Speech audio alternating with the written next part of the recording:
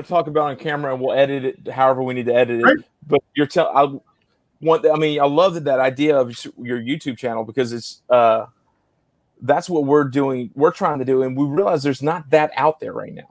Now it's, it's unfair. You have a lot more connections than we have. So like we have, I have to harass people on Instagram until they say yes. Um, well, how long, how long did it take me? Uh, let's see. I started back in July, August, and then all right, I, persistence, Chris. So, there we go. So it worked, and then but uh no, but it, it's been we're fascinated. We love the art.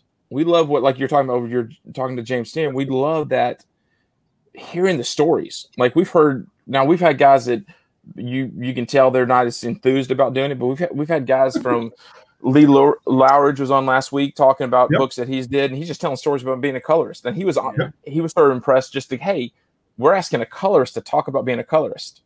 Um, yeah. and that type of stuff. It was a lot. It was a lot of fun. Mike's having some internet problems, so hopefully he'll figure it out as he's switching in cool. and out.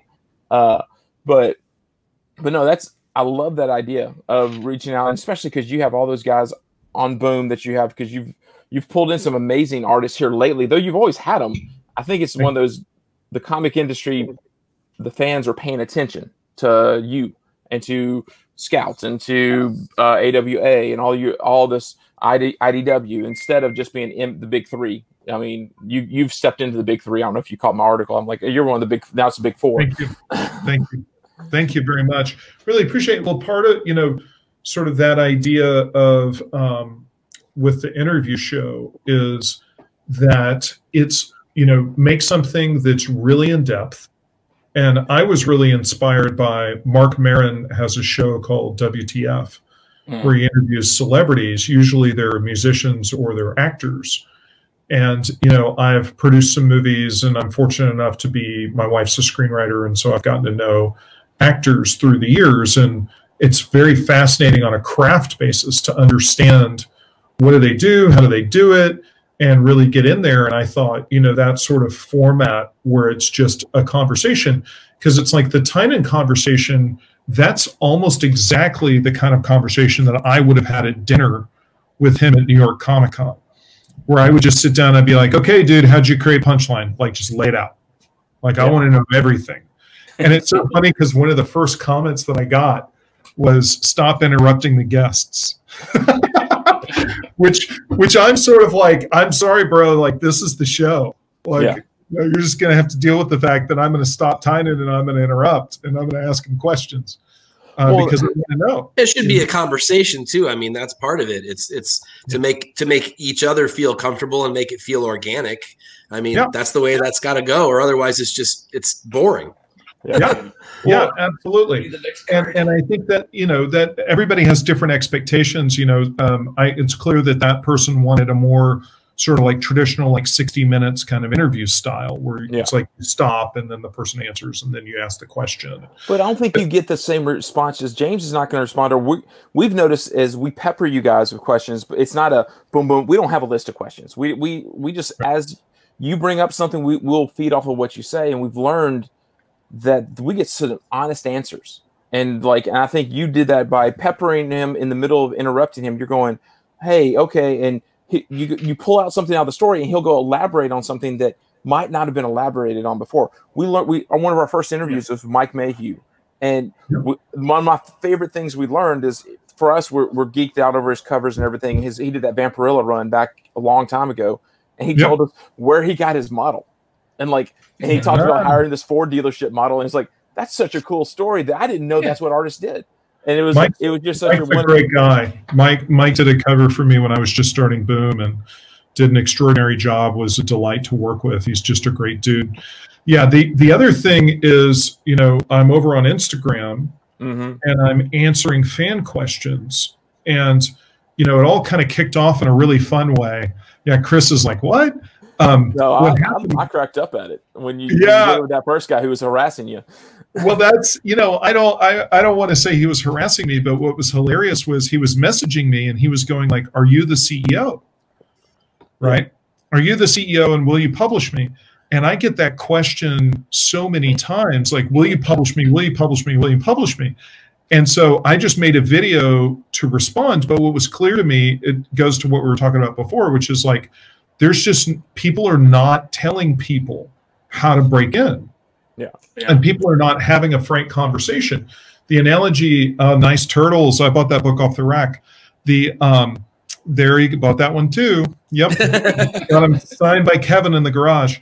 Um, the uh, the the what what happens with what I always like to explain to fans is you don't go to an NBA basketball game and sit in the bleachers and then go down and walk up to the coach and say, "Put me in." Yeah, coach. right? I got you. I got you. So true. I mean, that's a great analogy. Doesn't make any sense, right?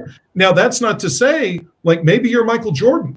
And, you know, the best example I can think of that is Donny Cates, mm-hmm. right? Mm-hmm. Donny, you know, like Tynion's breaking in story is crazy. Yeah. So what what happens is is he meets Scott Snyder, who's not Scott Snyder yet. He's a professor.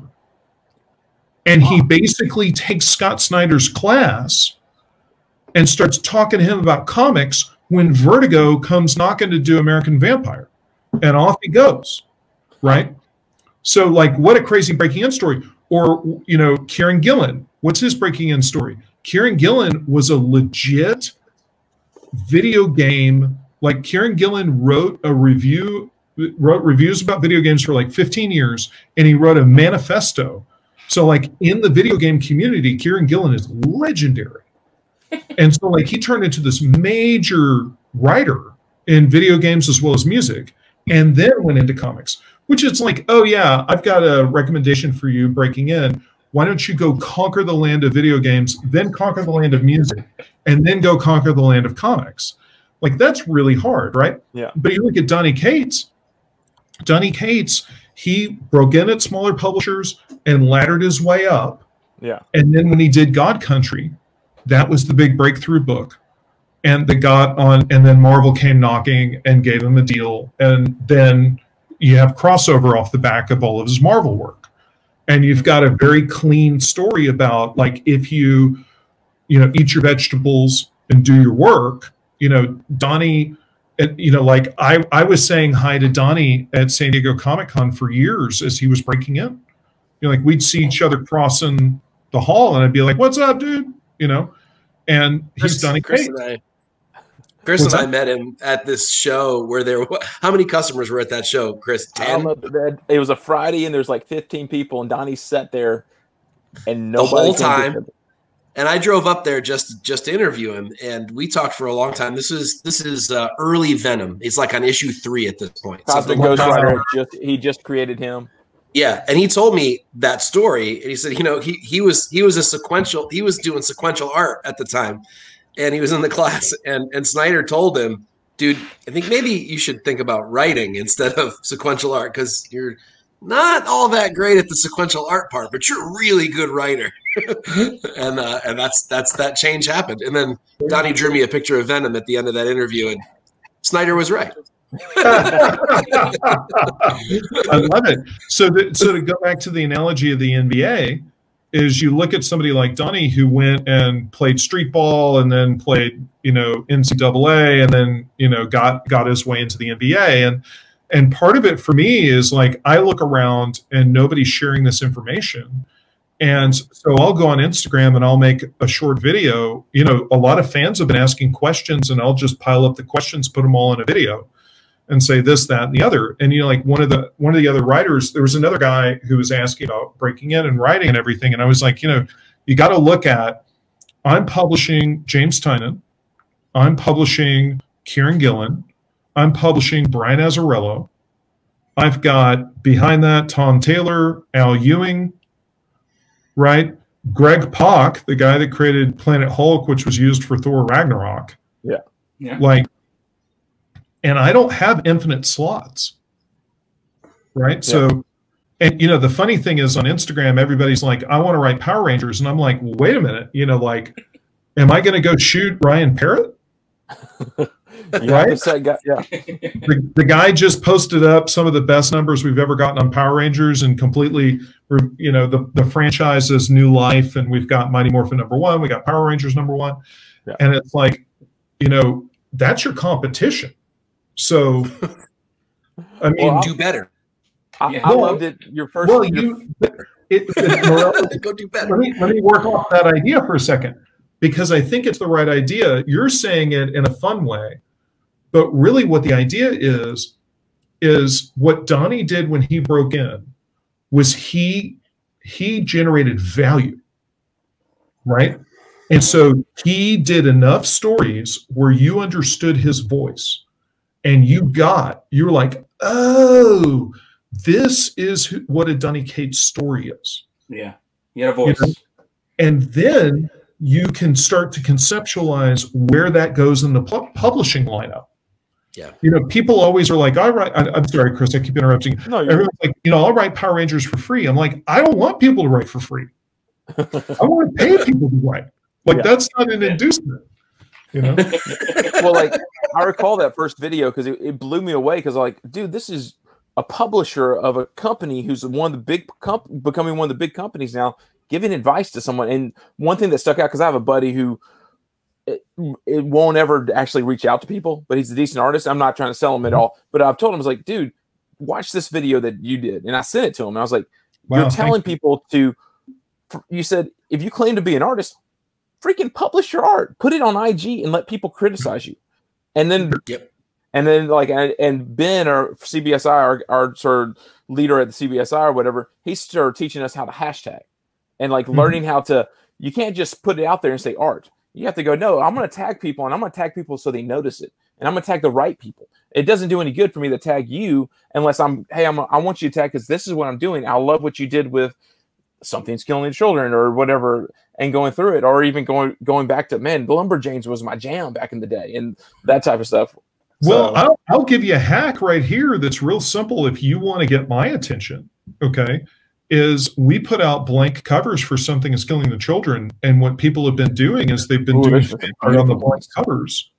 Yeah. Right. And what I do that when they tag me is I share it to my Instagram story.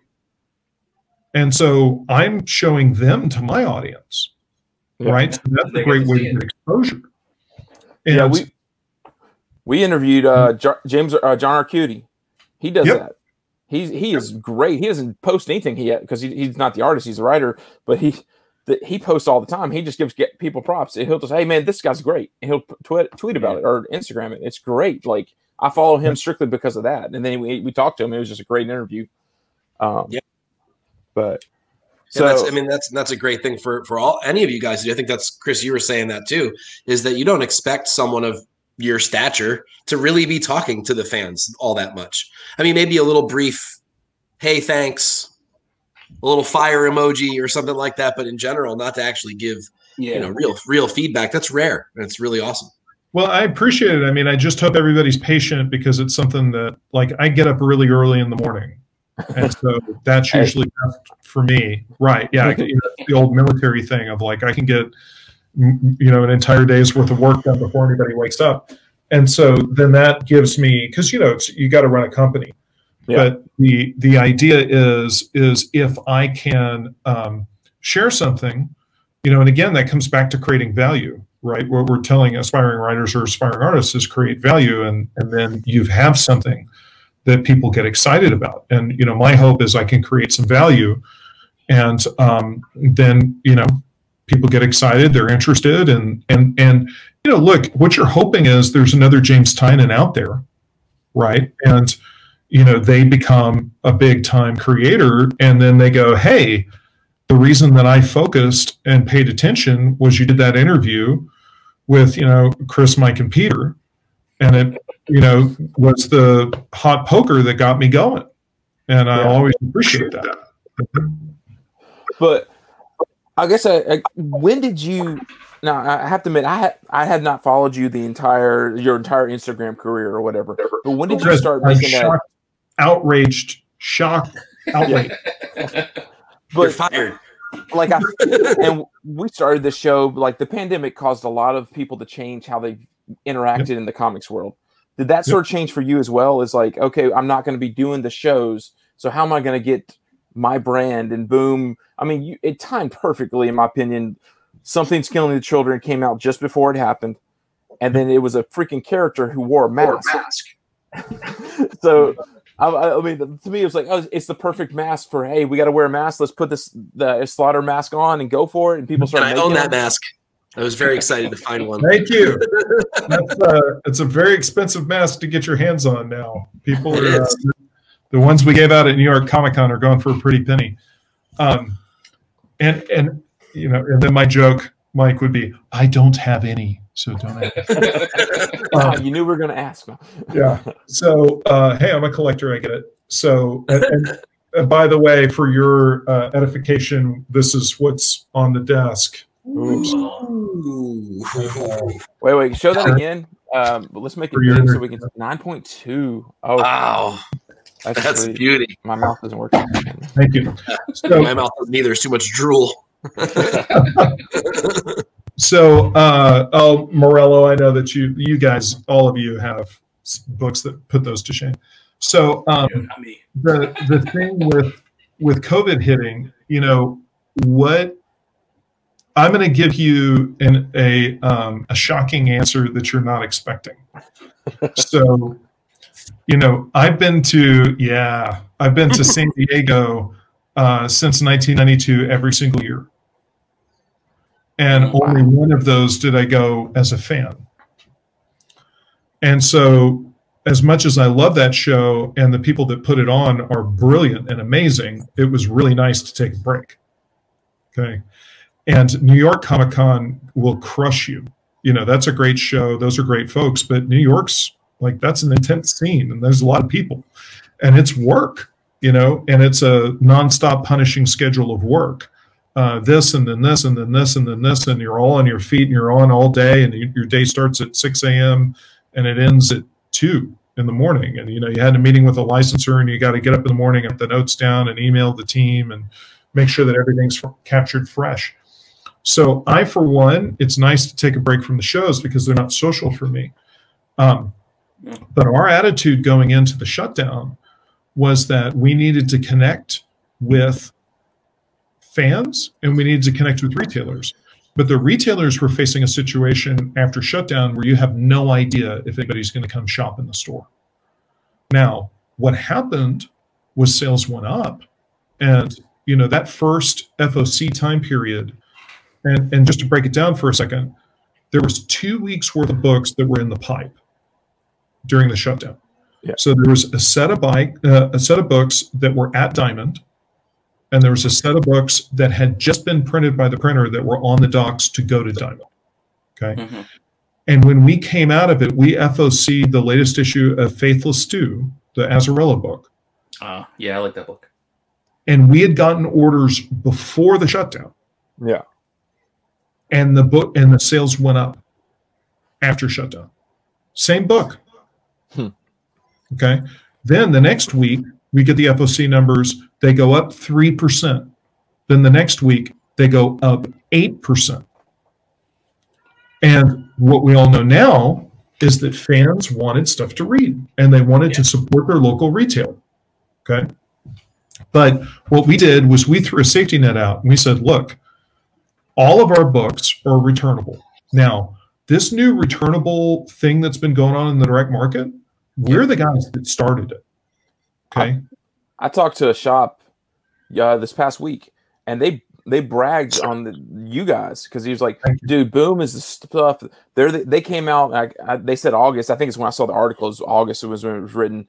They came out and they said it's fully returnable, and it like it makes it our life so much easier but the thing is, at the same time you guys did that, you started making finding the right artist at the right time to do one for 25s and then those thank you variants.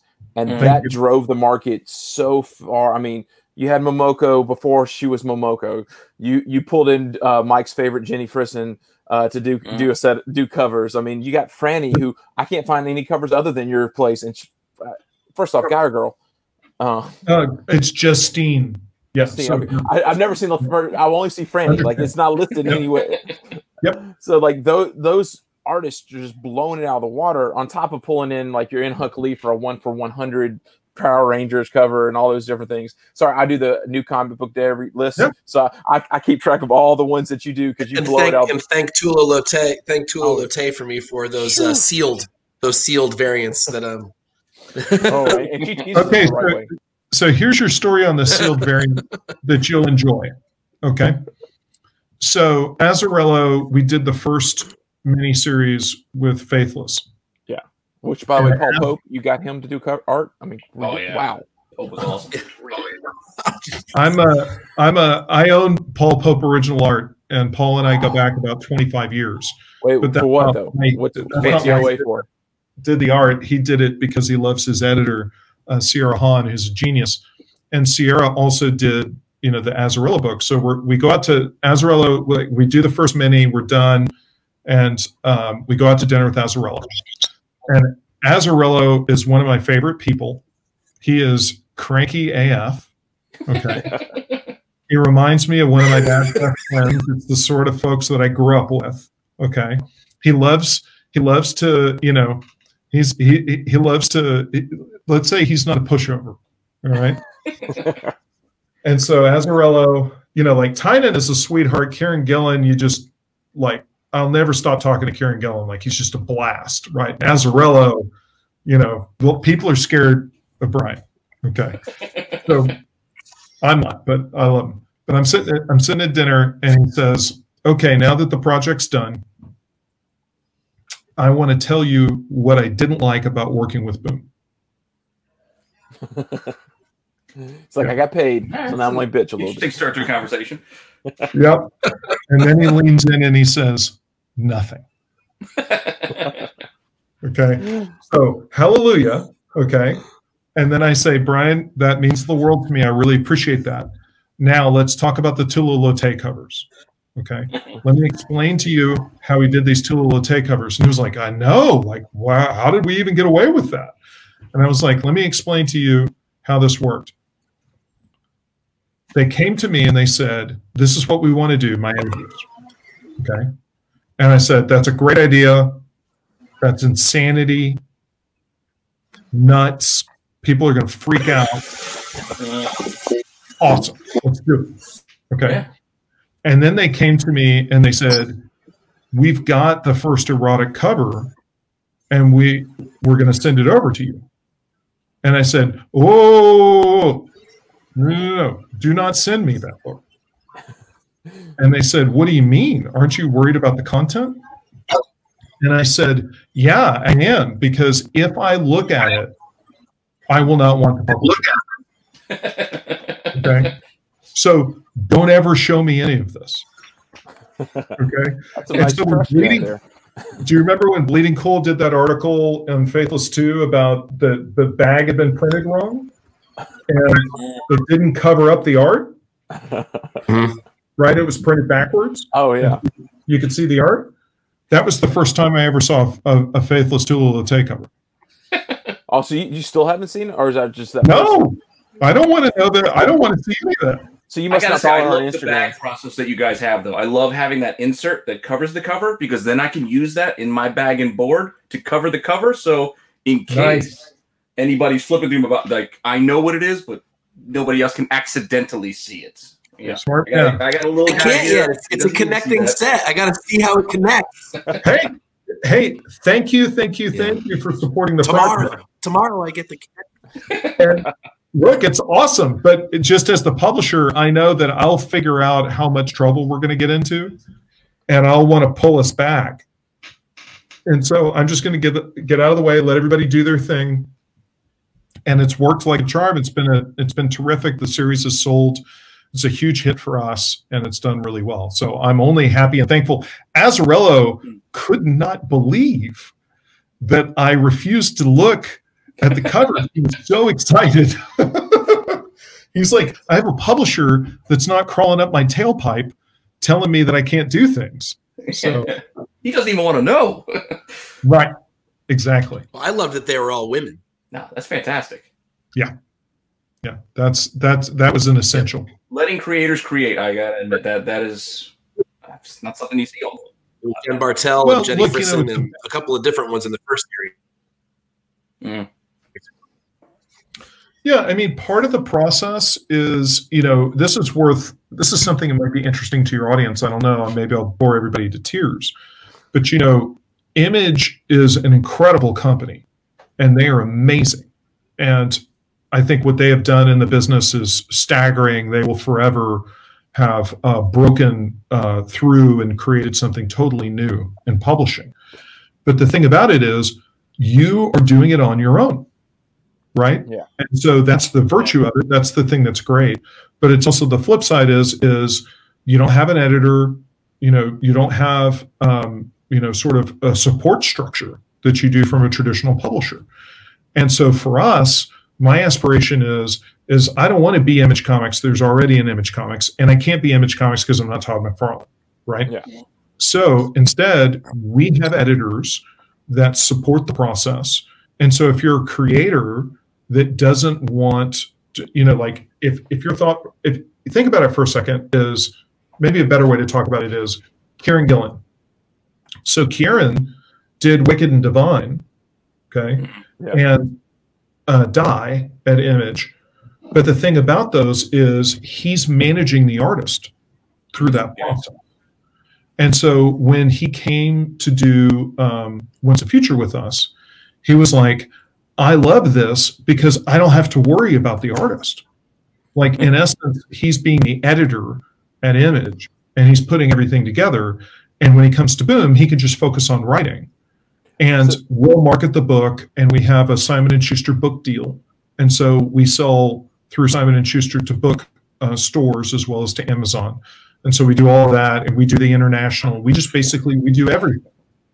So do you um do you ha- do you recruit the writers to write your stories, or they come to you with a story and you say yes, we'll get that, we'll do the, we'll find you an artist to go with you. Like which way? We prefer to not have an artist attached. So And, they come uh, with a story, and then you say okay, and we'll we'll pull in artists that we we have our people that we know or we've heard about this person. up. I like that. Yeah. Yeah, you know, like the conversation with Kieron was a little different because we um, sent Kieron Dan's artwork and thought Kieron would really like Dan's artwork. Yeah. And so that happened very early in the process. I think that that happened even before he had come up with the idea. And so we were like, we've got Dan. We think you, you know, he was working on Klaus with Grant Morrison. We think he'd be a great Ah, match for you. Yeah. House. Yes. Yeah. and so that worked but but generally speaking you know the, the thing about artists pairing a writer with an artist it, when a, when a writer is pairing themselves with an artist a lot of times you might have two guys that are friends and they get along well but they might not be right for the project Yeah.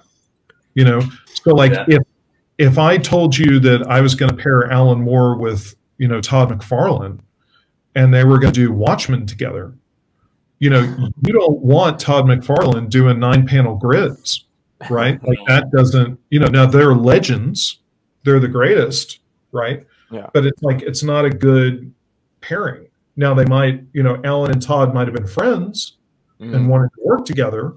And I get it, and it's cool. But at the same time, you'd pitch that to me, and I'd been like, ah, hey, Alan, can we go find the right match for the project? You know, and hey, Todd, Hey, Bill, what's going on? Can you- That reminds me of All Star Batman with Frank Miller and Jim Lee. Like it just didn't really work. Yeah. Like together, like Yeah. the two of them together. Like Jim Lee might have loved Frank Miller's art, and but just the book itself just didn't work with the two of them. Well, and, to, and Mike, you go back to, you know, you say, then they'll go call image, and that's fine. You know, it's like, for me, I think that we present very different value propositions. Mhm. And so if you're in the mode of, hey, I'm going to go do this book, and, you know, image generally solicits when there's three issues on spec in the can. Yeah.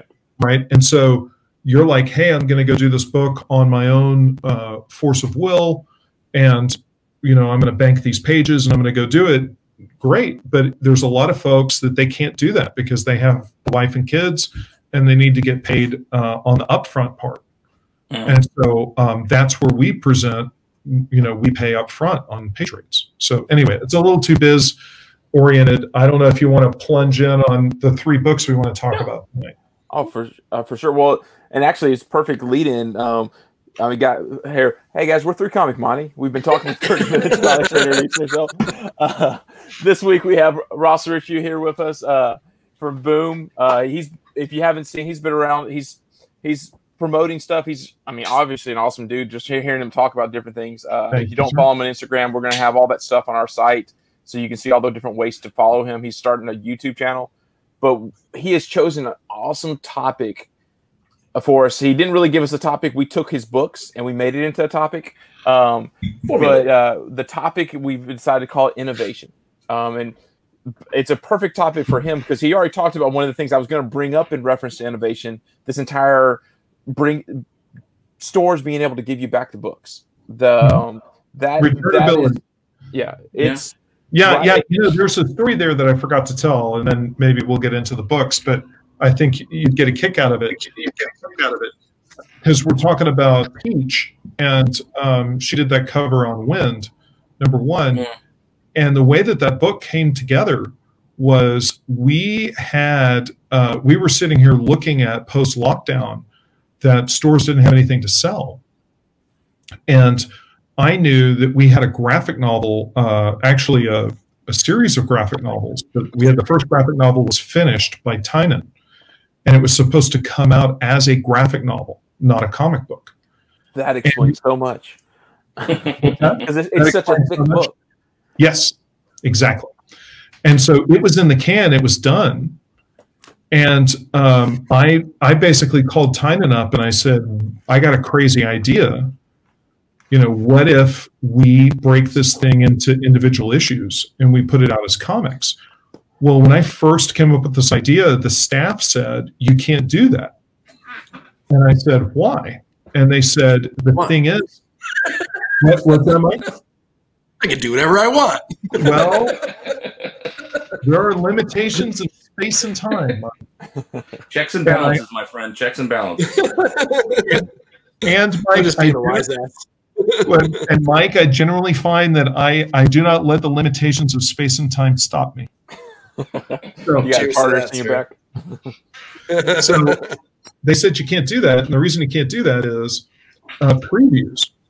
So there's not enough time to send the solicitation information to Diamond, have them collate it all, put it into the book, distribute it to retailers, get the orders, and then FOC the book. Okay. And so I said, yeah, yeah, yeah, yeah, yeah. What if we blow off previews? Hmm. Okay. this is the worst idea in the history of bad ideas. Okay. order process? Are you kidding me? And what I thought was we'll go straight to FOC. Okay. And let's roll the dice and take a shot and a chance on this thing. And what it laid out was we had five days to market the book before orders. We basically announced on a Monday, okay, and we had five working days, and then the following Monday, the orders were due. Okay. And what I thought was it was so crazy that when we announced it, that people's heads would explode and that that would get the attention that we needed mm. to sell the book. And it worked. So it turned out to be at the time that first issue, the first printing, outsold Something's Killing the Children. First printing. Now, something went through like eight printings and it's ended yeah. up, it's climbing towards 80,000 copies now because of the uh, local comic shop variant. Yeah, oh, that's right. The comic shop variant got ordered through the roof. I'm sure. Because so, uh, there's like a gold version of it or foil or something. Yeah, it's a foil version. Yep. Yeah. And so um, that Can't that really that down. Yay. yeah. Can't wait to hunt that down. Thanks. Appreciate it. yeah, it. Yeah, yeah. Well, um, so it so that that was a fun thing. And so to me, it's like, you know, how do you create a safety net for your retailers? And then how do you give them something to sell? You know, once it was clear that they didn't have anything to sell and the market was coming back, we really and if you remember during this time period like there was periods where marvel didn't ship anything yeah oh, they're doing trades one week and issues the next they they went digital for about half their issues. You you guys stepped in, and and some of the smaller publishers jumped in on a little bit too, but you guys stepped in and definitely filled the void. And and I, you're not giving it back, which is what I like. You, Yeah, that's good. Yeah, not losing that ground that you made up. yeah, because I mean, I because seem, then to, you I seem to remember you and AWA being the ones that I was getting my hands on, and of course they had uh, the what's the book? What's the Upshot. book? Yeah, and you know their but their their thing about a pandemic, and you're oh, like, resistance. What? How perfect timing is that? You were you Yeah. were going to publish that before this all happened, and literally So you, side by you side. guys had the book about the mask, and then he, they had the the plague. So the yeah, it was almost like yeah, it was like, wait a minute, is this a conspiracy? Did these two companies create? Hang on. Let me help you. No, I know. I'm just being a wise ass. but, but God, God bless AWA and those guys and and everything, Axel and uh, the, that crew. Um, well, cool. All right, so you want to jump into innovation? I love that topic that you picked because you nailed it. So Yeah. so So your first book, you you we're a fan of it. Um, we don't have an image of it, but everyone knows it. Fantastic Yeah, Four we're number one, and we'll throw it up here. But so, so tell us why you picked this book as your uh, first book. Well, you, you you know, we're talking about um, breaking in, and we're talking about uh, writing, drawing, and being creative, and that's stuff that I talk about on Instagram, and it's stuff I'm talking about in my YouTube videos. And I think what has been lost to most people is that Stan Lee and Jack Kirby they were over when they did Fantastic Four number one. Now, here's here's the thing. Now, Jack Kirby was the first Todd McFarlane, Alex Ross, Jim Lee. Okay. Mm. The first issue of uh, Captain America Comics number one, you've seen it where Captain America's punching Hitler. Okay. So that book sold a million copies. And the reason that it sold a million copies is because of Jack's artwork. Okay. Now, I'm going to go on a little tangent. And so have some Hey, patience for me here Long, for a second. as long as it's about comics, we're okay with that. All right. Well, you're you're you're in fine company. That's Yeah, all you're in the right place. Yeah. Um, Captain America was not an original idea. And I mean that literally. Okay. Joe Simon, who was the writer, inker that co created Captain America with Jack Kirby. Okay. Joe Simon was the first editor in chief of Marvel Comics before Stan Lee. Okay. And Martin Goodman, who was the publisher, he had a rule. There was only one kind of comic book that he wanted to publish. He wanted to publish whatever was popular. I've seen that. That's yeah. Now, here, here, did you just put up a Fantastic Four number one? yeah. He had to show it off. Yes, sir. Damn, I had to. I, I had to. I mean, I don't get a chance to show it off very often. Where, where do you live?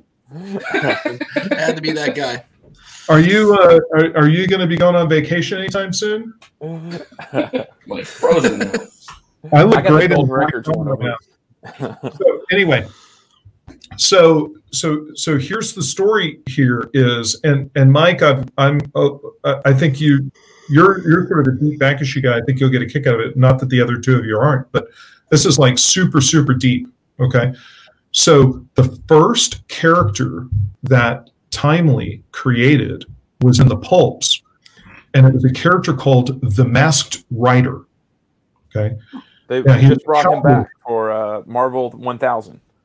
yes That- that's right that's right Oh, So here's where the Masked Rider is from. There was a Lone Ranger radio show, and in the opener, they would describe the Lone Ranger as the Masked Rider hmm using those exact words. Okay. And Timely, which is the precursor to Marvel, just ripped it off. Just like, oh, that's a good name. So exactly. And so when I say Martin Goodman liked whatever had been proven, like whatever was a hit, he wanted to do more of that. Okay. He would literally wait for things to be a hit and then go figure out how to copy them. Now the second the second character is Ka-Zar. And Mhm. Ka-Zar is a blonde Tarzan. hmm Okay. And he was created in the pulps before they did comics. Yeah. So Joe Simon knows this. And what Joe Simon does is he goes to Martin Goodman and he has a drawing, which you can Google if you just Google Joe Simon Captain America. It's it's the famous Joe Simon drawing of Captain America as the character design. Okay, and he says the company. It, it, it I'm going to call him Archie, but at the time they were called MLJ. Okay, Mm, yeah. Oh, because they yeah. hadn't published Archie yet. When they published Archie, they changed the name of the company to Archie. But it, he basically says MLJ has a superhero who is patriotic Is that the shield? and he has a shield. And he is called the Shield. Yeah. And he's basically like, I want to do this character, Captain America. He is a superhero who is patriotic, who has a shield. Okay. and Martin Goodman's like, oh, a ripoff of the shield? Great. Done. Oh. Okay. So it wasn't the idea with Captain America that was the innovative thing that made that book sell a million copies. It was Jack Kirby's artwork was so next level. And I don't know what um, movie you've seen that blew your mind. For a lot of people, it was The Matrix, okay, that made you look at filmmaking in a completely different way. Some people, it's Lord of the Rings or, you know, like whatever. What is the TV show that made you look at TV differently? Was it Game of Thrones? I don't know what, but that's what Kirby on Captain America comics was, is the way that he drew action was totally different. The way he moved to the camera, the way that he moved the figures, and everything that Jack did was gold. And in the 1940s, he was the number one guy. And he was, Simon and Kirby were the only creatives that were ever advertised in comics in the 1940s, the whole decade. They would do an ad. DC would say, "You need to come buy the the um, the uh, what what was it? It's the Boy Commandos. You need to buy Boy Commandos Mandy. because it was by Simon and Kirby." And so he so Kirby has this run through the 1940s where he's the king. Okay. And then the Simon and Kirby relationship breaks up. They start their own publishing company. That's a different conversation. Mainline. They do that stuff. The Wertham stuff happens. Jack is has to go out on his own. And basically, when Jack shows up at Marvel, he has nowhere to go. Okay. Jack Kirby's over. Okay. He's 20 years into his career and his best days are behind him. Okay. Now let's talk about Stan. Okay. So Stan takes over, Joe Simon goes to World War II, and Stan takes over as the editor in chief. And basically, Stan's job is to do a million comics. Like Martin Goodman loved to overpublish. Okay. And so Stan would write and edit the books, and his job was to copy every Western, every horror, every science fiction, just do knockoff, sort of like he was the bootleg version of whatever, right? Yeah. And he wrote romance comics and he wrote everything. And he basically just, you know, his job was just to churn, churn, churn. He was writing like 20 books a month or something crazy. Okay. Well, the reason that the Marvel method, the original Marvel method, which is the artist plotted the book, happened was Stan didn't have time. Now, one of my great pleasures of my entire life was to work with Stan Lee and to publish him. I published three series from Stan. And I was over at his office and we were talking and working on story. And I said to Stan, Hey, I'm privileged. I get to drive to Beverly Hills. I get to go into your office and sit down and talk to you about story. And it's, you know, the journey of a lifetime. And I'm thrilled. But there's a bunch of kids that are over at Boom and they'll never have an opportunity to meet you. They're going to have to go stand in a big line and wait three hours to be able to get your autograph.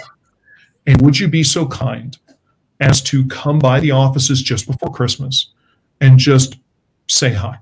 Like walk in, it'll blow their minds, it'll be incredible. And Stan instantly was like, Yes, of course, I'm happy to do it. It's awesome. It's fantastic. he was, he was delightful. I I had a great relationship with him. So he came in, and of course, instantaneously, there's this ring that's formed around Stan, and he was making fun of our offices. He said they were too neat; they look like a bank instead of like an editorial office. He was razzing us and all this stuff. And I pulled this um, comic book out from the 1950s, uh, science fiction horror that was called Menace. It was Oh, yeah. by Atlas. Uh. back in the day. Okay. And I said, Hey, Stan, I'm going to put you on the spot. The first story in this comic book, let me tell you what the plot is. The plot, and by the way, you wrote it, Stan. Okay. Here's what the plot. yeah. Here's what the plot is. The plot is mankind has created robots. They can pass for human. They are out in the population and people are scared. So there's a detective and he's going through and he's hunting down these androids, these robots, and trying to be able to tell which one's human and which one's an android. And at the Blade end, Runner. Yeah, And he if likes you- origami. at the end of this eight-page short story, it is revealed that he is a robot.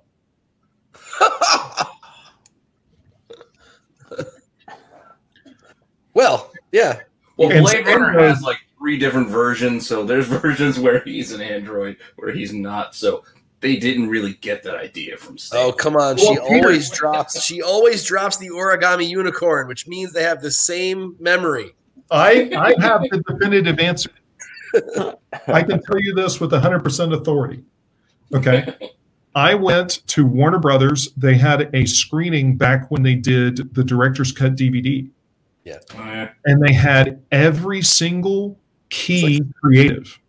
So they had both screenwriters, they had Ridley Scott, they had Syd Mead, they had um, the uh, you know they had 12 people. It was everybody that had anything creatively to do with it. And after they they screened the movie again, they did the Q and A, and you know what came up, okay? And um, it's not David Webb Peoples; it's the other screenwriter. Oh, I'm gonna just die that I can't remember this guy's name. Um, the screenwriter said uh, he's not an android, and uh, Ridley Scott says yes, he is. And then and the two of them got into a friendly argument and the screenwriter's like i wrote the story right and Well, it's my picture. oh, is, Right. it, is it Philip? Is it Philip K. Dick, the guy who wrote the novel?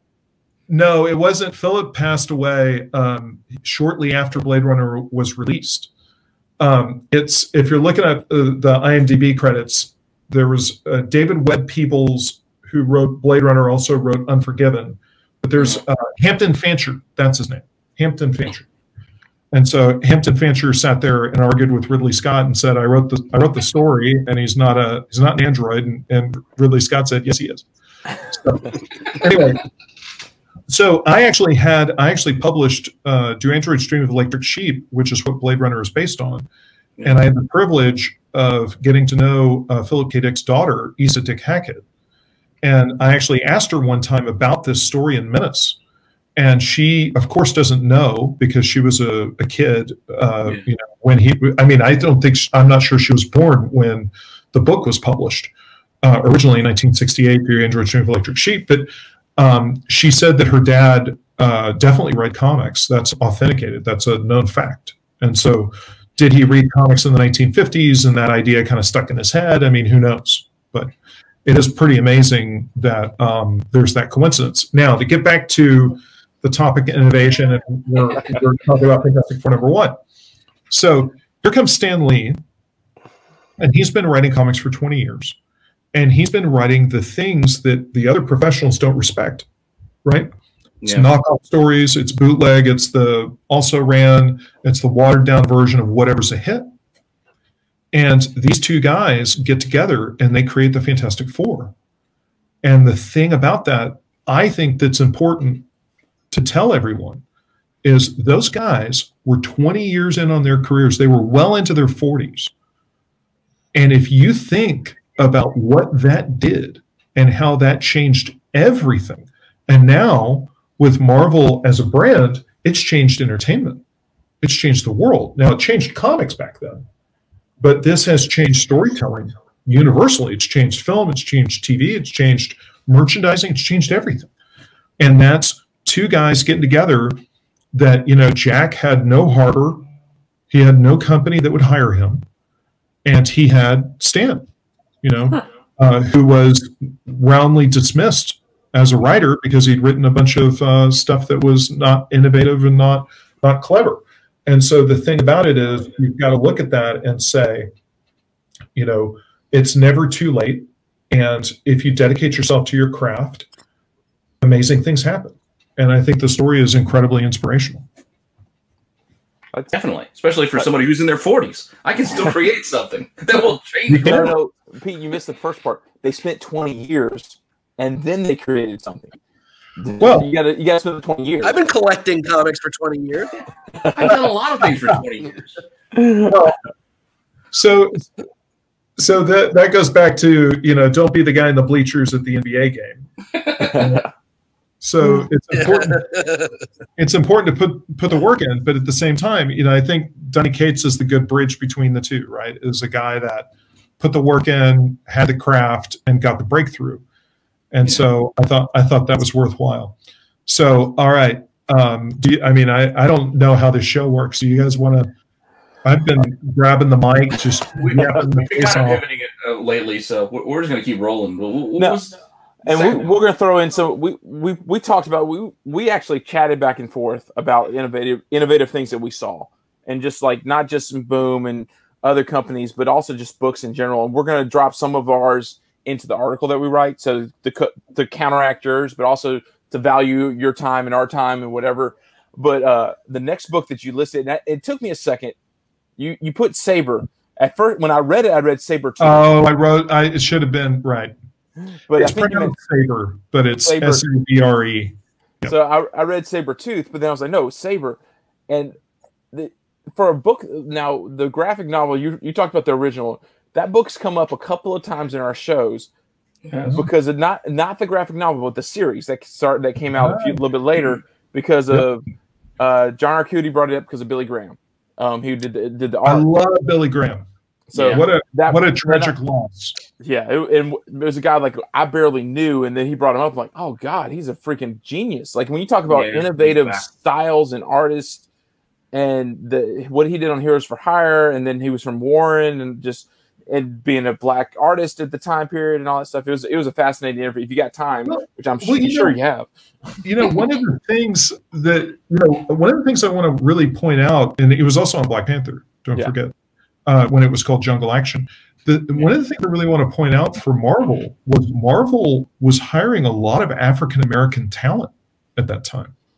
Yeah. So Keith Pollard um, had great runs on Fantastic Four and Thor. Uh, there's Billy. There, Ron Wilson. Like, if you read Marvel Two-in-One, I met Ron at, you know, he was going to New York and San Diego, and I just fanboyed out on him. You know, like, I mean, he, you know, that's Dude, that's my childhood right there. Thing I didn't realize, and I went back and looked at the the thing run, and I'm like, oh god, like it yeah. it was pointed out to me. I didn't realize how just powerful some of those images were that he drew. Yeah, that I mean, I've never been a thing brought him up, but right? Didn't Arcudi bring up? A, yeah, that was Wilson one of his three. He was like Billy Graham, Ron Wilson, and uh, Matt Baker were his big three. Oh yeah. yeah. well Matt Baker, you know, Matt. I mean Matt Baker's fantastic. That guy, that guy's a genius. The uh, but you know, there was a ton of. I'm going to forget. I'm leaving out a bunch of other African American artists, but you know, during that time in the 70s, you see Marvel is you know, Marvel's always been such a progressive place, and you know, there was a tremendous number of uh, Latin American artists uh, that were working at Marvel, whether they were Puerto Rican or they were from Latin America. Um, mm. You know, different different ethnicities, different different parts of the world, but they had always been really innovative uh, with bringing in different people uh, to do their stuff. So anyway, so, Sabre, the original one, the one that you yeah. want to talk about, 1978, yeah. I think is the yes. year I saw. Yes, yes. Yeah. And so let's talk about the creative team. So Don McGregor. So Don is uh, one of the true innovators um, in comics. And the thing that so so there's two series that Don is known for. Okay. The first is uh, Killraven, which ran in Amazing Adventures. And what Amazing Adventures is, this Killraven run is in the early 70s, Conan was the first licensed Marvel comic. Mm-hmm. Okay, 1970. So Stan is publisher. Stan, so the so Martin Goodman had just sold the company to Cadence Corporation, and Stan saw this opportunity to become the publisher of the company. And if you ever wonder why at the top of those Marvel comics of that era it says Stan Lee presents, the reason is because Stan was worried. Stan didn't want to be the editor in chief anymore Mm-hmm. and because it, was too much work to write everything and and and basically corral all the cats and stan still wanted to be involved creatively with marvel and shape its direction but he was worried that the that that cadence would buy marvel and realize that they didn't need him and show him the door and so stan plasters everything with stan lee presents in an effort to because and the thing you got to remember is this happens around 1970, and Jack Kirby had left two years before, and Steve Ditko had left four years before. And so the key creatives that had built Marvel had left. And Stan, and now this is my conjecture. I never had the conversation with Stan, but you know, from from my perspective, the way I look at it, all the books I've read and the people I've talked to, putting it all together, Stan was worried that Cadence would buy the company and show him the door and so he really asserts himself as the creative voice at Marvel. And arguably, you know, he was the editor in chief and the chief writer at the same time. There's we've never really had that paradigm at any company ever. DC never had a chief writer that was the editor in chief and controlled everything. And so Stan's insecurity really puts him to the fore. Now, so he's he he gets the promotion, he goes upstairs to be the publisher and he brings in his protege Roy Thomas to run the line creatively. And Roy says, "I really love Robert E. Howard, and I want to get the rights to do Conan." And somebody in your audience will be able to vet this story better than me. But I want to say that the licensing fee it was either seventy five bucks or it was one hundred and fifty bucks. But Stan thought it was too expensive and didn't want to pay it. Okay. right. Right. And if you look at it from Stan's perspective, you know, Stan's perspective was just go in the other room and create a new franchise, right? And then because they gave it up. The, then they gave it up to Dark Horse after that. Well, uh, well that's that was after a while. That was what 275 issues. That was but a long got it time. For, you got it for essentially the equivalent of a dollar seventy-five, and You're gonna get rid of it. Probably figured that they ran the court 275 issues. They figured we told all the Conan stories we got. Well, the, never. That, There's never too many Conan stories. well, that that Conan story is a different conversation, which I, I would happily go into why Marvel would let it go, but that's a different. We'll we'll have a different video to do that. But, but basically, the business reasons behind it. But basically, what happens is that pops and then what you see is you see this run and from 70 to 75 it goes into kind of 76 which is licensed comics. Okay? Mm-hmm. and they start trying to grab everything that isn't battened down. Okay? So they start to go license the pulps. So the shadow uh, comes out from dc comics. Okay? And uh, you see marvel publishes doc savage so they go for the authors that pre-existed before comics, and then they start uh, licensing everything that isn't nailed down. And like one of the ones, Shang Chi, mm. like the whole story behind the Master of Kung Fu, is that that is based originally. Fu Manchu was a pulp character written by Sax Rohmer, and was a villain. And so what they're trying to do is they're trying to figure out how do we do a villain series? And basically, Steve Englehart and Jim Starlin decide that they can't. And what they need to do is they need to make the villain the dad, and then they need to make Shang-Chi the son, and that's how Master of Kung Fu gets created. They got to Star Wars it, or what eventually would become Star Wars. Right. And so um, Paul Gulacy, I don't know if you pronounce his name Gulacy or Gulacy, but Paul. Gulacy. Lacey, good guy. Okay, really great. nice guy. I've, I've met him uh, in passing at a show, and he was terrific. And I've been a lifelong fan. But Paul, at this time period, is the hottest artist. Okay, Paul is working on Master of Kung Fu, and under Doug Moench's sort of like sculpting, the comic that they're doing is it's a James Bond comic. It's an espionage with international locales and sexy ladies. Okay. But it's starring Bruce Lee. That's the premise. Now, the original inspiration was Fu Manchu and the David Carradine Kung Fu TV show. So that's what Jim Starlin and Steve Englehart are doing. But they leave the character very early. And by the time Doug Moench gets his hands on it and Gulacy's doing it, is Gulacy's doing this approach, which is James Bond, but starring Bruce Lee. And it's the hottest book.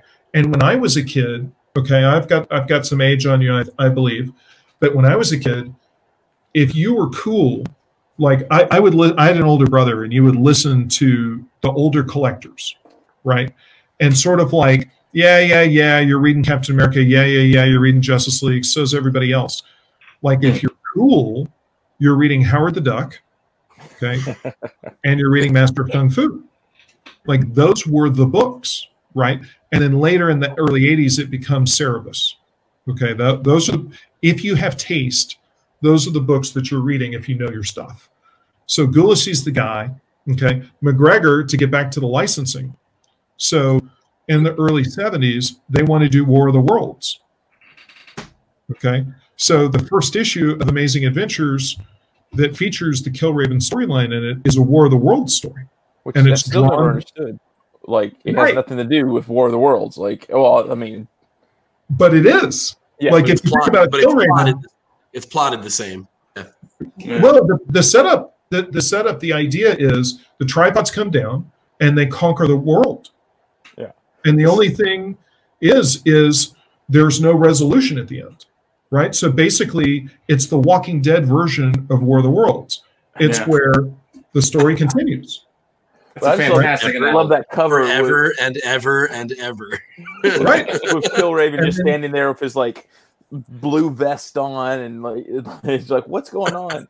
Don't focus on the outfit. Okay, And so Killraven and his little band, okay. So McGregor takes this over, and if you look at the creative teams, they were going through. You know, the first one is written by Gerry Conway, and then it's handed off to Marv Wolfman, and they just hand the baton, and nobody wants to write this book. I think Archie Goodwin's in there, and then Don gets his hands on it, and Don starts to write this really emotional, really cutting edge, really brilliant um, serious literary. Now, this is the time period when people, it's starting to dawn on people that comic books could be more sophisticated. Mm. And Don is pushing that agenda forward. Now, clearly, Denny O'Neil and Neal Adams with the Green Lantern, Green Arrow stuff really blew that door open. Okay, but Don is working in that vein and he's trying very much to tell a really serious story. Now, the other aspect of it is you put in the Panthers Rage storyline, speaking of Billy Graham from uh, Jungle, uh, Jungle Action, which is Black Panther. And for the audience that doesn't know, Don McGregor told a multiple chapter story with the Black Panther, which is basically structurally the movie. Okay. And um, it was, some people consider it the first graphic novel that was serialized. Okay. Because it's so multi chapter. If you go back and you look at any of the big two publishing previous to this, there's no clean like the like the Galactus trilogy, you can't just cut it out and put it into a graphic novel. I mean, they do, but like there's continuing storylines before and there's continuing storylines after. There's cliffhanger, cliffhanger. This man, that you know, just rolls right into this man, this monster. rolling from one to the next. Right. But it, but you can pull Panther's Rage out, and it's clean. Like you can put it into a graphic novel format, and so, and and I, I will tell you, I have hung out with Grant Morrison, and he has talked to me about how big an influence Don McGregor was on his work, and how mind blowing the Panther's Rage storyline was to read back in the day when you're buying it off the rack. So that's Don. So Don's this huge innovator. And here's Paul, who's this huge innovator. And basically in 1978, the direct market is just starting to kind of like become a thing. hmm And both of these guys are, neither one of them are on the top selling book at Marvel. Okay. So they're not you know Todd McFarlane doing Spider-Man, right? But they are recognized by fans as the best of the best. Hmm. And so they step out and they go to and now I'm really going to get out over my ski tips, so smack me around, okay? but I think that book Sabre, it's the first modern independent comic.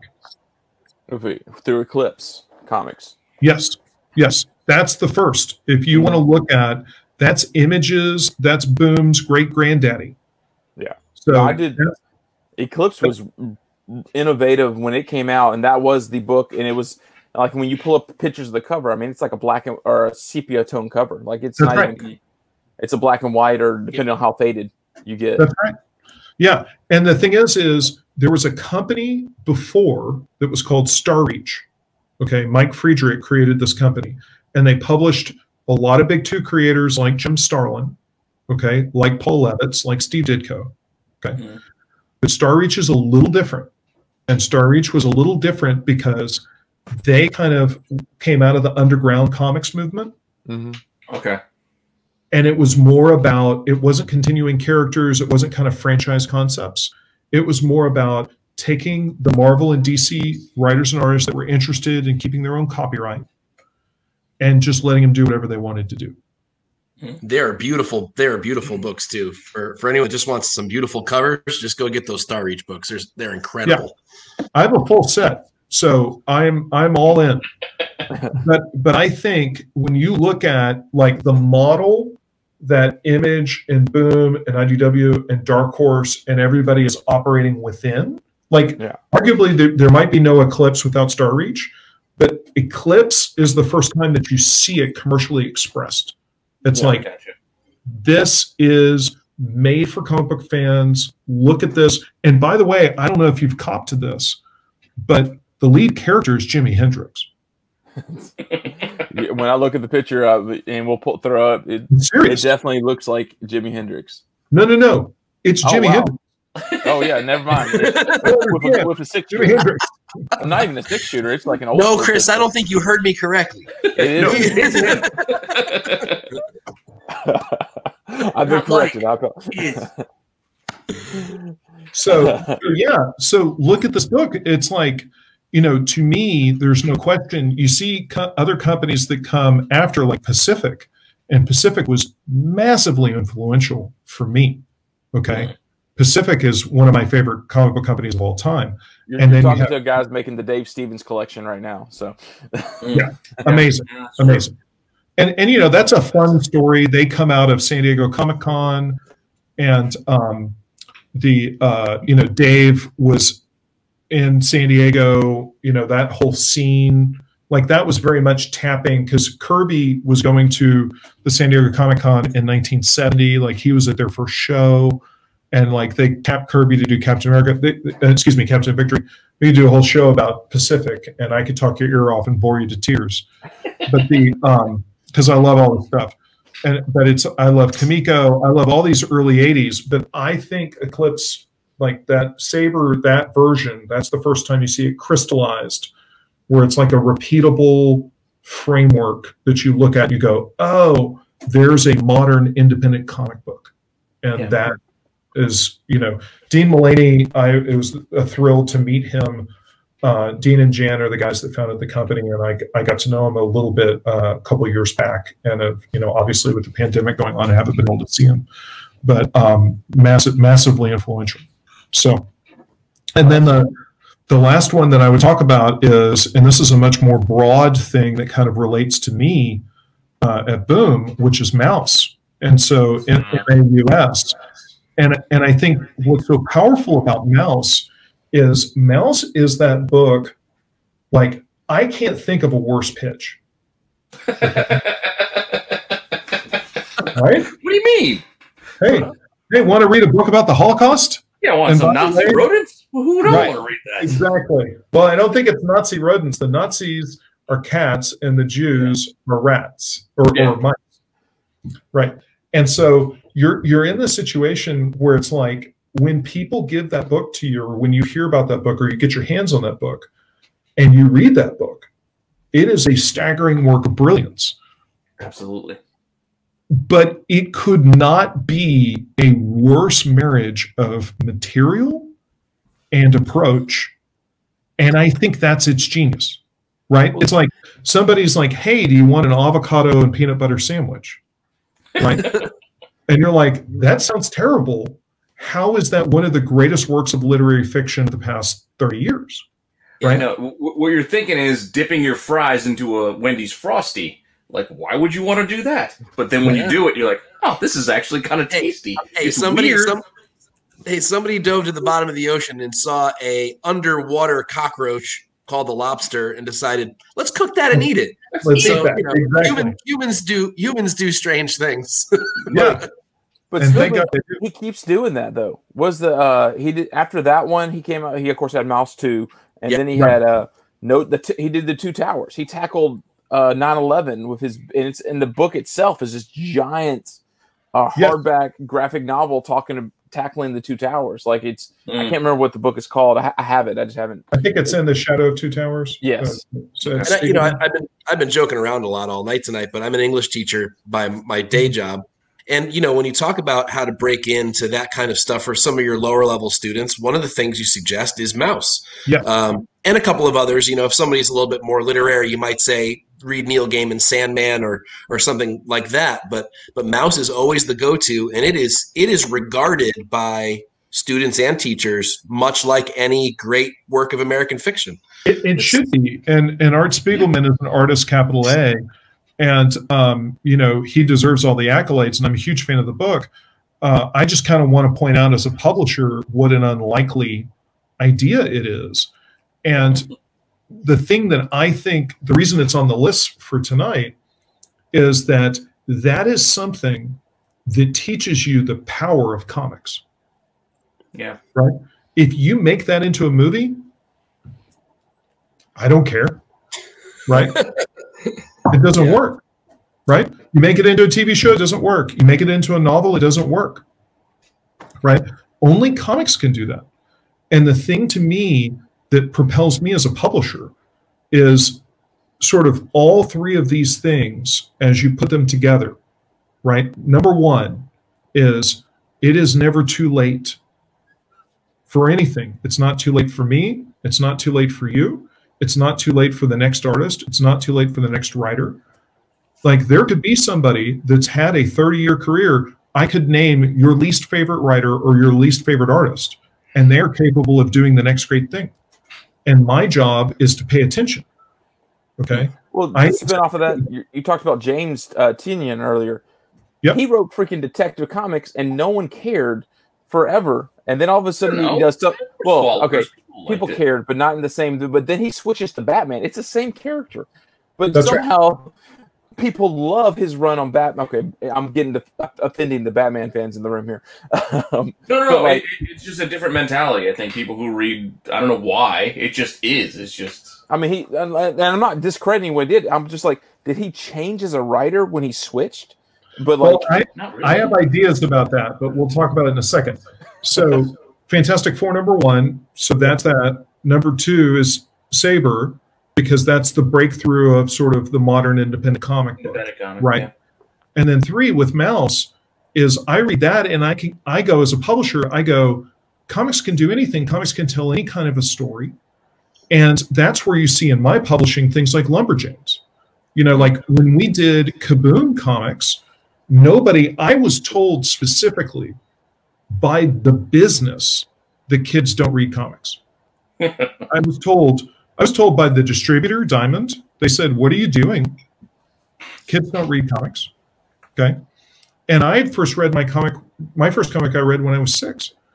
And so I believed in the power of the storytelling that's in comics. And I'll tell you, when Lumberjanes was pitched, you know, it's like, hey, they're Girl Scouts that go to Girl Scout camp and they fight monsters. It's like the way that the female audience is now a part of the reading comics was not articulated at that point. Okay. And that was a crazy rolling of the dice. But I just believe in comics. And I believe there are great cooking comics. If you haven't read them, uh, first published some of them, they're amazing. Like comics can do anything. and that's how I believe. You know, it's it's how we have an article t- hitting. I think probably. I don't know if it's going to be tomorrow. If it's going to be Thursday, but the the back nine we're doing where we're doing like the animated series. And one of the things I picked, I picked one of the Darkwing, you know, you know boom books because Thank you. it's just fantastic animated book. It has nothing to do with us talking to you today. It's just when the topic was delivered to me, it's like, hey, we're going to do an animated series. I'm like, all right. I like Darkwing. I like I like the homage covers that you guys did with some of those like kaboom stuff. Like, fantastic. And you know, and I would love you to tell me right now, we're going to bring Peanuts back. I mean, he- I'm a ridiculous Peanuts fan, and I miss it. We I are love still it. publishing Peanuts. What's that? We're still publishing Peanuts. We just put out a Peanuts graphic novel. You you Yeah, well, what just- you mean is the monthly? Yes, the monthly. Yeah. yeah No, I, I appreciate it. I can't. Yeah, yeah, yeah. I hear you. I like floppies too. But I was going to pivot back and talk about something else. What was Uh, it? Detective Comics versus Batman. Yes, uh, thank TN. you. Oh. So, part of what happens with the Batman run, and now I'm going to be completely mercenary, and I'm going to push my own YouTube interview with James Tynion. okay, uh, because he goes into it in detail. Oh But part of what happens there is he's given a very specific, articulated time. So he's going to come on at issue 86, and he's got to be done on 99 or 100. It, it's not clear which one. Okay. And it's like, this is it, bro. Hmm. right. And so at that moment, that does something to you. Right. Well, But yeah, you have to have an remember end, with the- end game in, in sight. Like, here's your finish line. Like, you're going to plan differently than if you're going to keep going. Like, you. Well, and for detective, the thing you got to remember is he was the ringleader on Batman Eternal, Mhm. which was a year-long weekly comic. And he had come out of working with Snyder on Batman during the Court of Owls, which is a high watermark creatively on the character. Yeah. And so he had gone through that process. And so when he's on detective, you know, the approach of putting Clayface on and sort of making it a family that's a team. It's not Mhm. really a Team team, book. but it's kind of a team book, right? So he was doing some things that were really different. And so, um, and had come off of big runs on Batman already and had really made his mark. And so then, you know, he cycles away from the character and then he's given that uh, time frame. And at that moment, then he's like, okay, I'm going to load, I'm going to load up the gun. I'm going to put all the bullets in the gun and off we go. So That's right. Context. Now you're now you're making me want to go and watch your YouTube video. Good job. Like I, I just, but like this is what I love. What we do and what you're going to be doing. Which I, I don't like the competition. I mean, if you throw us some of your guys know. there Uh, is no competition. We're helping No, each it's other. all it's all the same place. We're, Yeah, we're true. all It's not. just uh, loving comics. That's So just that's it. Can we? for everybody, Chris. I know. Yeah, I it would be great if people would stop trying to compete and just share everything. Yeah, I threw. I was am joking gonna about not that. buy DC because I like buying Marvel books or whatever. Like we can buy everybody's books. I can buy Yeah. Boom books. I can buy Dynamite. I can buy everybody's books if I want. I buy I buy everybody's books. I buy uh, Image, IDW, Dark Horse. I buy them all. I bought a Zenescope book today. So How how Great. These guys are really nice. I like these guys. yeah, So. they actually they are. Yeah. Uh, thank you so much uh, for being with us. I, I know you got you got so much coming out. I mean, I I I do have to mention, how did you come, or was it Al that came up with the longest title for a book in comics? We are only. uh, How do you say? I can't even say it. We, We only find them when they're dead. Yes. I, I, I'm going to help you. Okay. Do you know that garbage song? I'm only happy when it rains. yes. Yes. Yeah. Oh, there you go. oh, now you'll never forget it. we only found them when they're because uh, I don't. It cracks. It's I, the only reason I say Holy it's the longest title ever is because when you have to write it every week because you have a great variant that comes with it, it's like, oh dang it, I got to write. Christian Ward's doing the variant, or uh, whoever's did this past week's. Uh, no, they didn't come out. Um, you had a great second print that uh, Oliver did, I think, or Seriously, my mind is blown by that. I'm like, holy shit, that has the same like. I can't, like, just, I Poor can't Pete. shake it now. I'm like, Poor Pete, you just exploded fuck. his brain. Good work. Do you have anything else that you want to like throw out there? I mean, you're talking about your YouTube channel. Of course, you got Berserker. You've been talking about that on every show that I've seen or th- that you've been doing, which I love. so let me just let me make sure I understand this, Chris. Hang on a second. So you don't want to talk about Keanu? We can definitely do it. I, I also know I can go watching someone else's thing. I just I want to know what you want to talk about. So if you want to talk about Keanu, I will gladly let you talk about Keanu and talk about Yeah. the Berserker pitch and everything. Well, the you know, for me, you know, it it's interesting to me.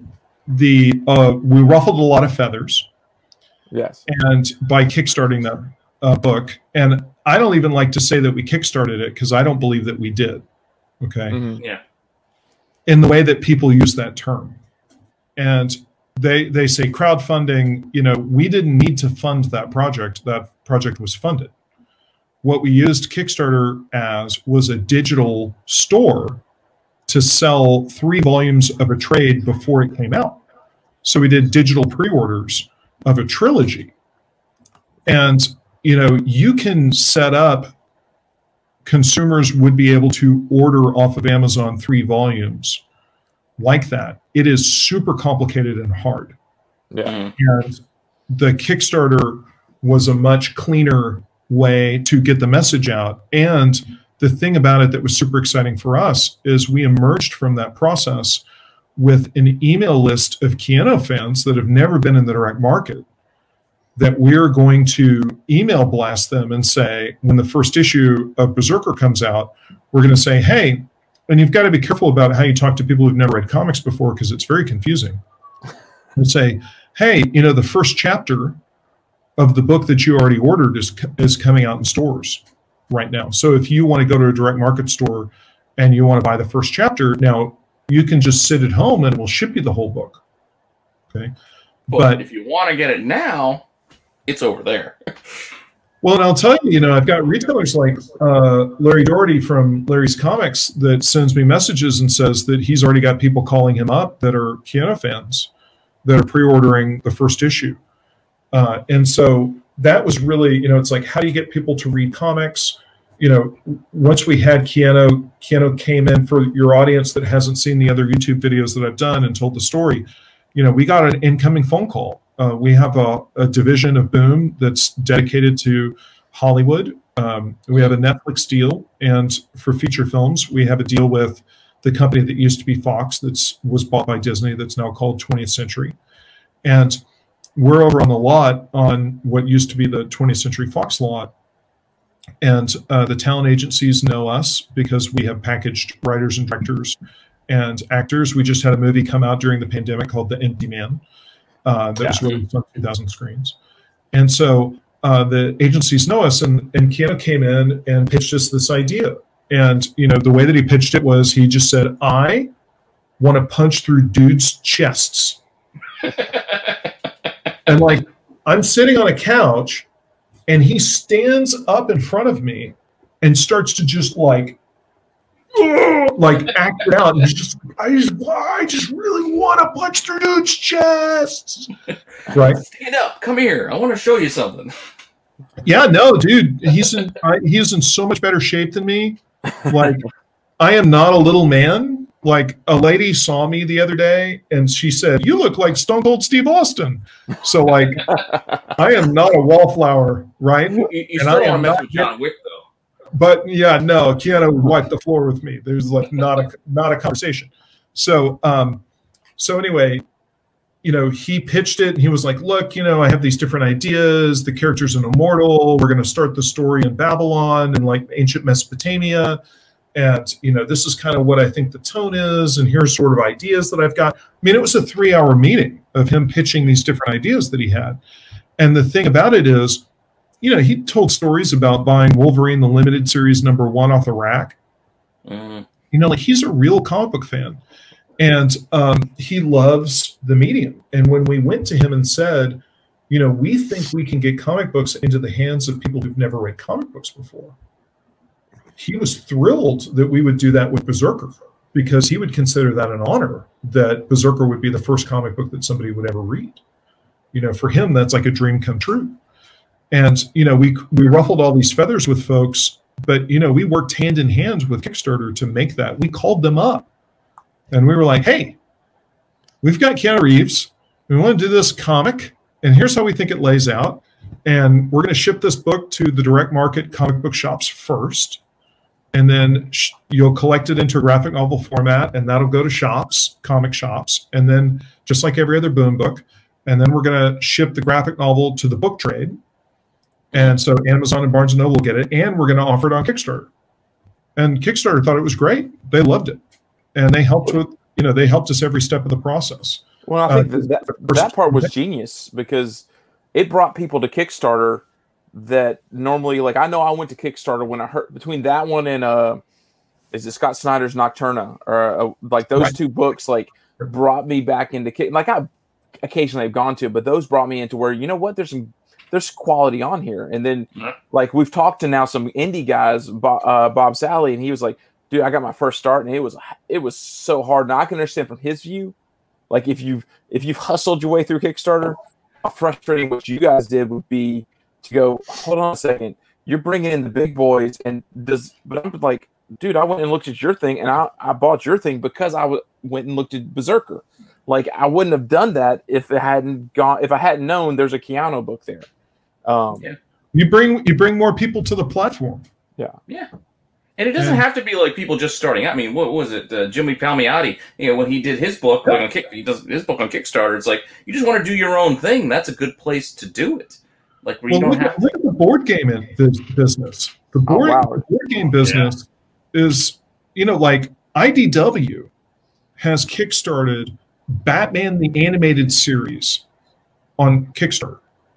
Hmm. Like Batman the animated series, IDW. Yeah. Right They've done a title you think would sell itself that you don't need to do Kickstarter. But it's not just about like crowdfunding. It's just kind of reaching that broader audience. Also to see interest too. You want to gauge interest and see yeah. is this something that we should do? This is a passion project. We'll push it this way, see what it looks like, see if people are interested in, and then you know you'll know in five minutes whether or not people are interested. If you get something limited by going through this route, like by yes. doing that, like it's yes. an incentive for a lot of collectors to say, yep. hey, I can get a book that not everybody's going to get because I'm on it before other people because I'm going on to Kickstarter. Well, and, yep. and you look at those, you look at the collectible, the really collectible stuff, and it's expensive. And the yeah. thing about the retailers is they don't want to order it because they have to pay non-returnable. Yeah. And so, yeah. you know, here's a hundred dollar hardcover. Well, they got to shell out 50 bucks, right? Sometimes based on margin, maybe 55 and you know you're going to order five of those, mm, right? Yeah, that's mm. tough. To so for us, it's an opportunity to get that. I love the deluxe edition, scratch and sniff, super da da da da da, signed by your mom. I'm in. Yeah, right. I'm that guy. Like I'm a hundred percent. Like I always buy that if that's the version. And I was talking to the staff before we launched Kickstarter, and they were all they looked at our high end tiers and I did all those tiers and they thought I was insane. And I said, You don't understand. None of this stuff is going to make it past the first day. None of it. And it was gone in four hours. Yeah. It was just wham. Right. But I'm the audience. So I know yeah. what that's like. But the thing is, is I look at Kickstarter as like this is this is like comic shops.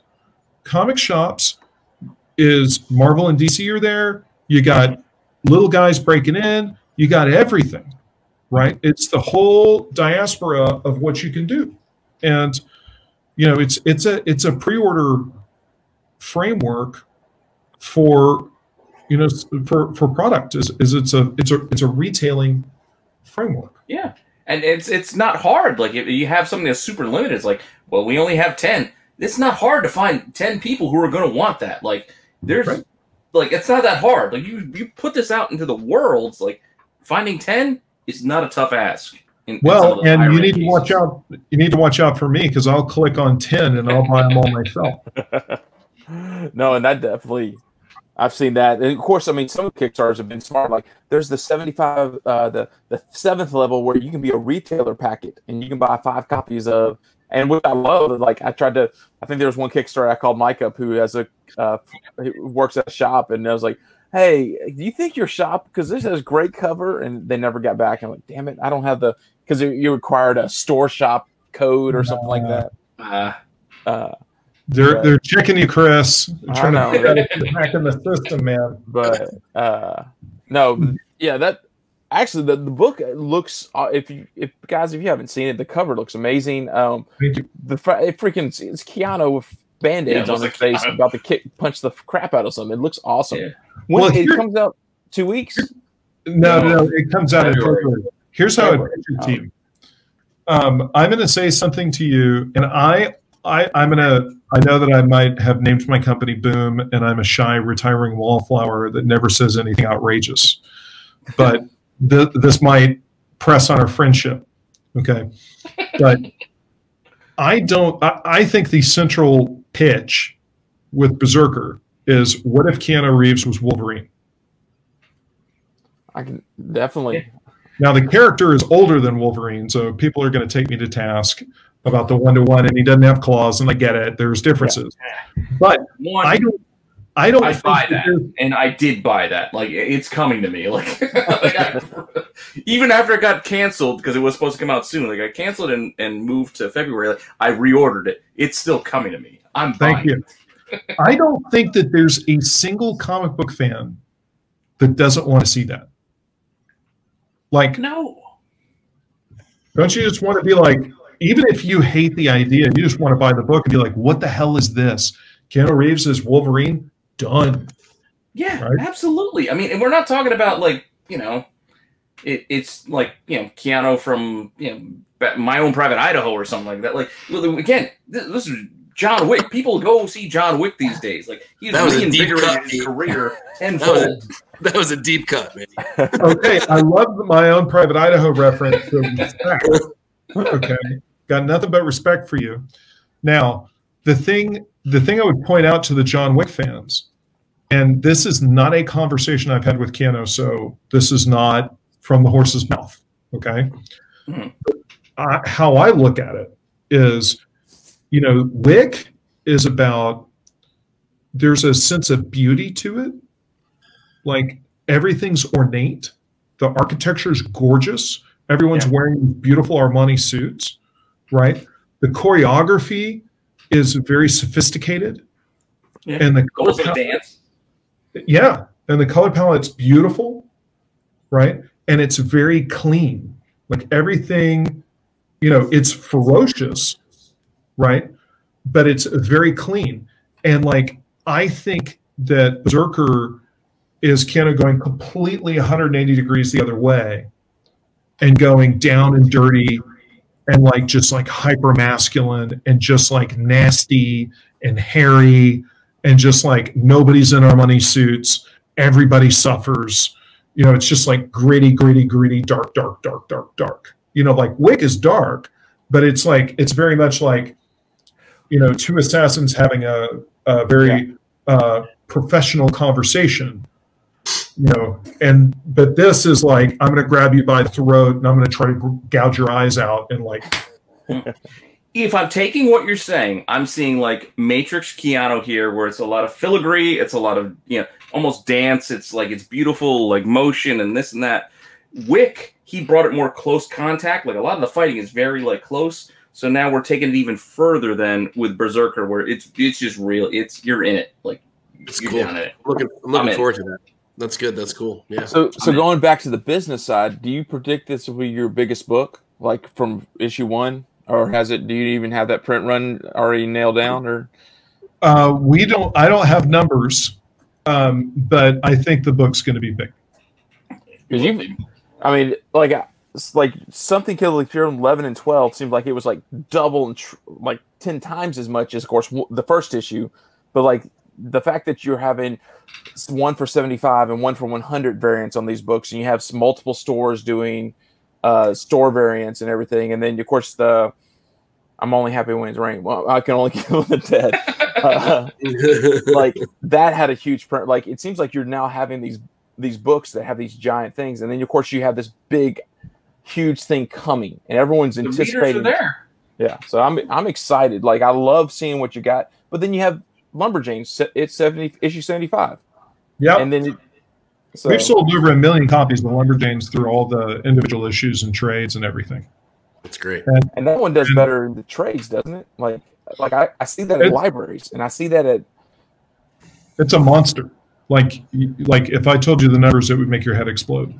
And the thing is, is HBO Max is developing that as an animated show, and if that thing goes, it's going to be nuts. It's going to be completely bananas. That's awesome. Uh, th- thank you so much for being with us. It, Thank I, you. I loved, I loved hearing Yes. what Thank you. your innovation and the because I, I do think of what you're doing as innovation, like just, just some of the things you've done. And I Thank have you. to be honest, I haven't paid attention as much as I mean, I know you've been around since 2005, I think, uh, and but I haven't been paying attention because I mean, there's always only been the big two and then Image, but this year you, I hate to say you use the pandemic. It feels like you use the pandemic to just get your name in there fighting for your space, and I, I, I think that that was innovation, taking advantage It of something. smart is what it was. Yeah. Yeah.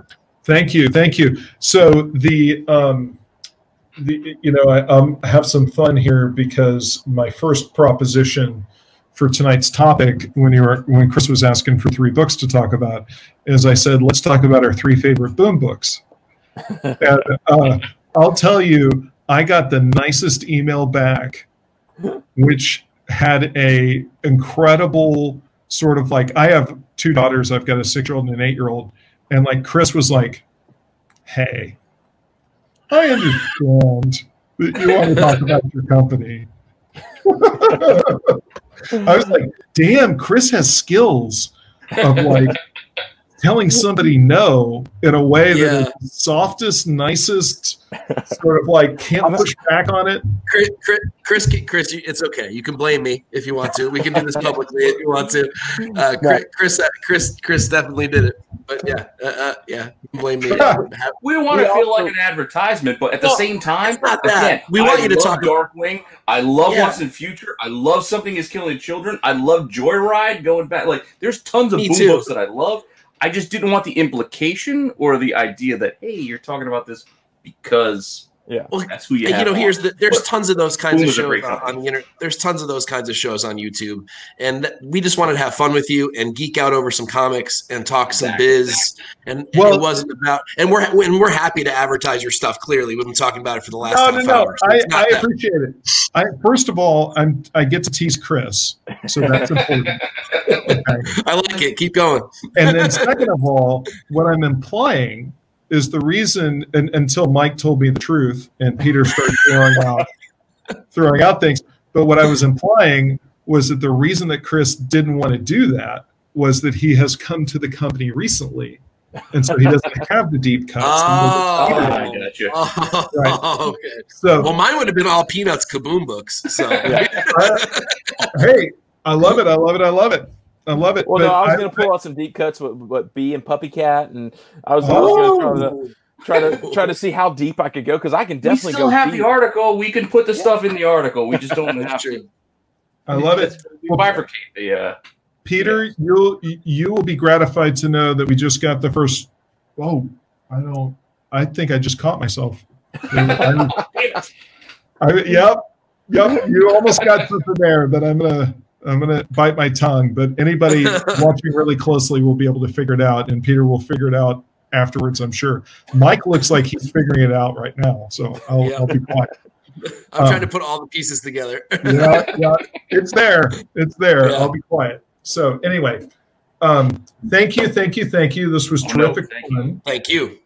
The- especially enjoyed at the end being able to tease Chris, even though Mike and Peter wrote it. All right.